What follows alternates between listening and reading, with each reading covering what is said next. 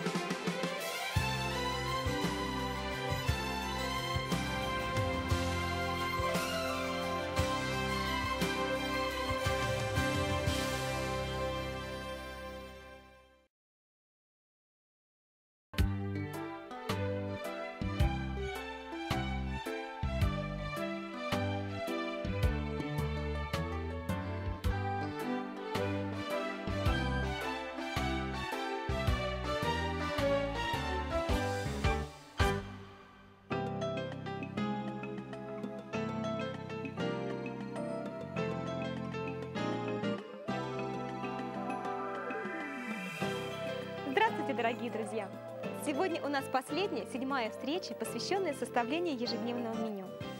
По библейскому календарю седьмой день – это суббота.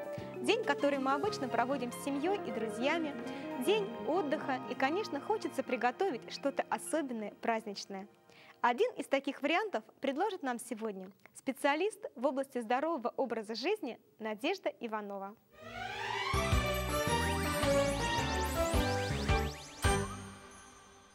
Для того, чтобы мы были здоровыми, для того, чтобы наше пищеварение было нормальным, желательно день начинать с воды. Рекомендуется пить 2 стакана теплой воды с самого утра. Перед тем, как мы пошли умываться, перед тем, как мы сделали зарядку, лучше это сделать. А потом уже на желудок где-то через полчаса, на это у нас как раз будет э, время, будет готов и к завтраку. Сегодня на завтрак у нас будет геркулесовая запеканка. Она мне нравится тем, что ее можно приготовить заранее. Утром ее просто подогреть. А для того, чтобы она была более интересная, более вкусная, желательно а, добавить, допустим, кокосовые стружки или а, сушеной, или свежей. И а, абрикосовое пюре, которое что делается из кураги. Просто мы берем, замачиваем курагу, пропускаем ее через миксер с водой, в запеканке хорошо бы еще подать молоко. Ну и как всегда, на завтрак нам желательно хотя бы два фрукта. Например, апельсины и яблоки. Если вы не наелись, мы знаем о том, что завтрак должен быть основным и сытным, мы можем добавить еще два кусочка хлеба, который можем намазать точно так же абрикосовым пюре и э, посыпать сверху кокосовой стружкой. И у нас получается быстрый, вкусный и полезный завтрак. И это на сколько человек? Это Такое? порция на одного человека. День седьмой. Завтрак. Яблоко, апельсин, геркулесовая запеканка, кокос, абрикосовое пюре, молоко или сок по желанию, два куска отрубного пшеничного хлеба.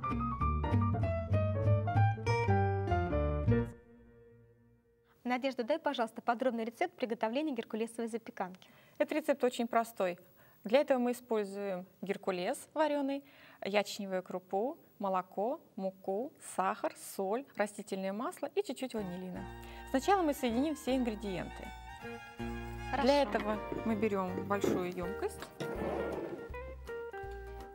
Геркулес ты говорила, да, вареный? Вареный уже. геркулес уже. То есть это может быть Остаток от завтрака предыдущего, предыдущего дня. Любая каша. В данном случае мы используем ячневую. Все у нас уже вареное. Мы соединяем муку. Мы можем использовать молоко или воду. Это уже по желанию. И сейчас мы все это соединим, размешаем так, чтобы масса была у нас однородной. Добавляем сахар. Совсем чуть-чуть, да? Небольшое количество растительного масла соль. Если у нас ванилин идет с сахаром, значит пол чайной ложечки. Если у нас просто идут кристаллы, то буквально на кончике ножа. И теперь все соединяем. Мы для этого лучше воспользуемся именно таким прибором, которым мы с вами пюре готовим. Да, чтобы масса стала более однородной. Да, чтобы она у нас получилась пастообразная. Все, у нас уже однородная масса. Теперь мы просто ее выкладываем на противень. Ложку, Действительно очень просто. И потом ее ставим в духовку, и она у нас выпекается. Так что это можно сделать с вечера, чтобы на утро подать, можно сделать даже утром, пока мы умываемся, пока мы одеваемся, наша запеканка будет готова к завтраку. И мы можем накормить всю семью. Мы ее немножко делаем одинаково высоты, чтобы она у нас хорошо пропеклась. Если мы ее чуть дольше оставим в духовке, то она может у нас превратиться в крекеры. Так что мы можем ее как два рецепта использовать. И как запеканка, и как крекеры. Да, это будет в зависимости от того, тонкая. да, это зависит от того, что мы хотим. Если мы хотим, чтобы она получилась у нас запеканочкой, мы чуть раньше вытаскиваем из духовки. Если мы хотим, чтобы у нас получились крекеры, мы тогда их подпечем, немножко разрежем и снова в духовку. Чуть-чуть подольше подержим. Вот и все. Теперь можно запеканку поставить в духовку. Духовка у нас согрета до средней температуры, и она у нас здесь будет выпекаться в течение 30 минут. А теперь, как всегда, запишем рецепт. Геркулесовая запеканка.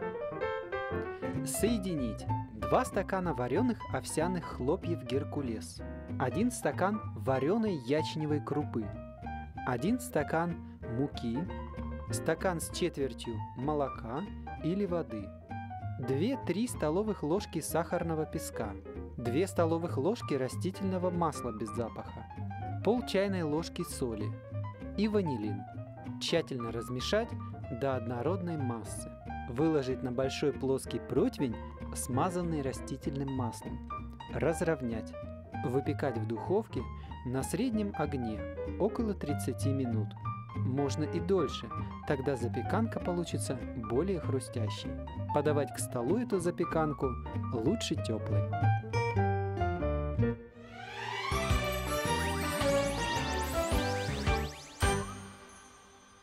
Что же у нас будет сегодня на праздничный обед? Сегодня мы с вами приготовим мазидру. Но перед тем, как у нас будет обед, мы должны вспомнить, что между завтраком и обедом мы должны выпить с вами 2 стакана воды. Не за раз, маленькими глотками, но желательно, чтобы это количество воды мы с вами выпили. Итак, мы берем с вами рис, просто обык- обыкновенный отварной рис.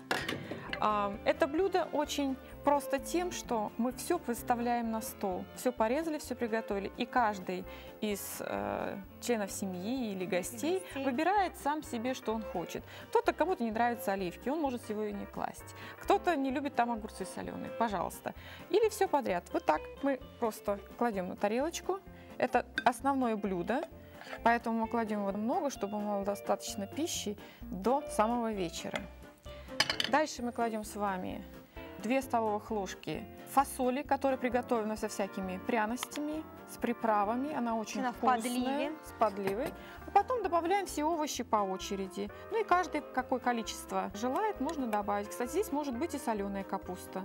Только она не должна быть кислой, она должна быть просто слегка соленой. Теперь мы кладем помидоры. Количество помидор каждый выбирает сам. Кто побольше, кто поменьше. Кто как Я любит. люблю много помидор, поэтому такого достаточно. Можно использовать свежие огурцы, но лучше соленые. Если Они это лето, остроту, да? да, если это лето, то могут быть свежие огурчики. Если это зима, осень, то, конечно, соленые огурчики. Ну и, конечно, зелень. Нам зелень нужно есть много. И здесь ее едят даже с удовольствием и дети. Они не замечают, что зелени так много. И петрушка, и укроп, и зеленый лук, который мы только что положили. В завершение я всегда кладу оливки. Их можно порезать, можно просто отдельно. Это будет зависеть от того, кто какие любит. И в завершение, для того, чтобы все это было вкусно, мы поливаем томатным соусом. Количество тоже каждый выбирает сам. Вот, пожалуйста, у нас получается вкусное блюдо, которое называется мазидра. Казалось бы, привычные ингредиенты, которые почти каждый день у нас есть дома, просто мы их подали немножко по-другому. И получилось интересное, привлекательное, необычное блюдо. Все с удовольствием его едят. Если у нас недостаточно еды, некоторые добавляют еще хлеб. Но когда у нас рис, в общем-то, нет необходимости в хлебе. Но русский человек ест хлеб каждый прием пищи, поэтому он может добавить и хлеб. День седьмой. Обед.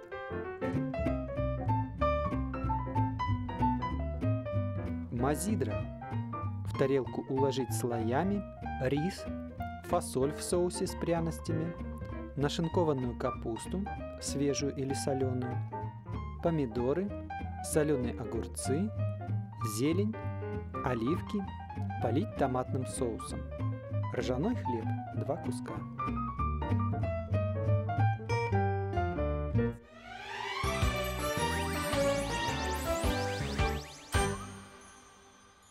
Я надеюсь, что мы привыкли уже пить воду, поэтому между обедом и ужином мы выпили уже где-то 2 стакана. Получается в течение дня 6-8 стаканов.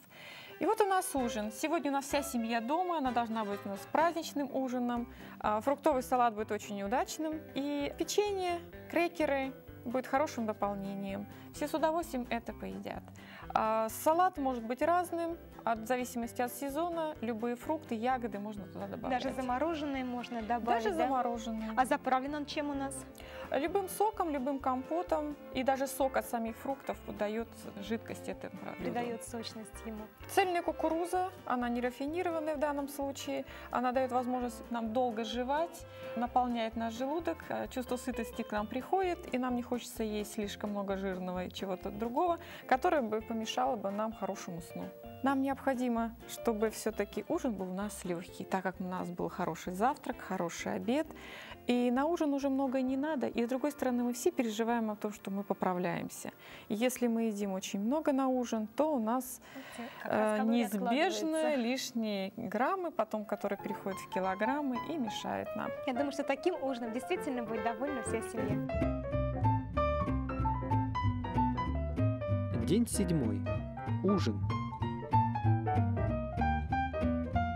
Фруктовый салат, попкорн, крекеры.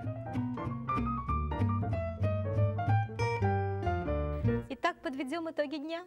Да, у нас получился насыщенный завтрак, хороший обед и легкий ужин. Здесь мы получили и фрукты, и овощи, и зерновые, которые дают нам а, белки, жиры и углеводы. И мы получаем полный набор питательных веществ на целый день. Я думаю, что в течение такого дня мы не только будем сытыми, но и получим большое удовольствие от этой пищи. Спасибо тебе, Надежда, что ты помогла нам научиться лучше составлять меню, а значит у нас теперь меньше будет проблем и хлопот с приготовлением пищи. А если у вас все-таки остались вопросы, то пишите и звоните, мы будем всегда рады. Доброго вам здоровья и приятного аппетита!